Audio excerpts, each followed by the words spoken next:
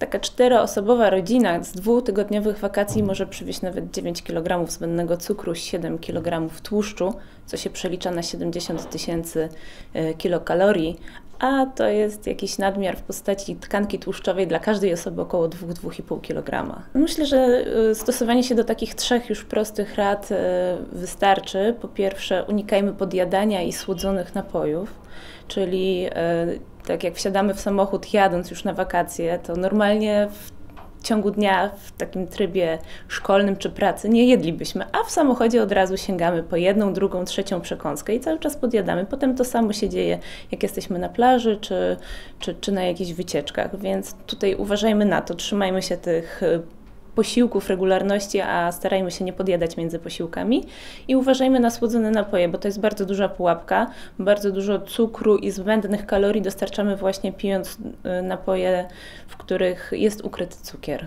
Kolejną y, ważną rzeczą jest to, y, żeby zwracać uwagę na to, co wybieramy na te posiłki główne. Tak? Starajmy się raz na jakiś czas chociaż, bo wiadomo, że na wakacjach sobie folgujemy, ale raz na jakiś czas odpuścić frytki, na przykład na rzecz gotowanych ziemniaków lub wybrać surówkę, w której nie ma majonezu, żeby po prostu ograniczać ilość tych kalorii, którą dostarczamy, bo nawet jak się ruszamy, to ilość kalorii, która pochodzi właśnie z tłustego, smażonego jedzenia jest na tyle duża, że nie zawsze damy radę ją spalić na bieżąco.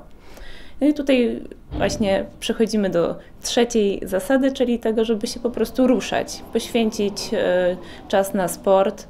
Mamy dużo e, czasu, dużo wolnego czasu w trakcie wakacji, więc możemy śmiało właśnie się ruszyć, wstać, pójść, przejść się chociażby. Spacer jest już dobrym początkiem, żeby, żeby zacząć się ruszać.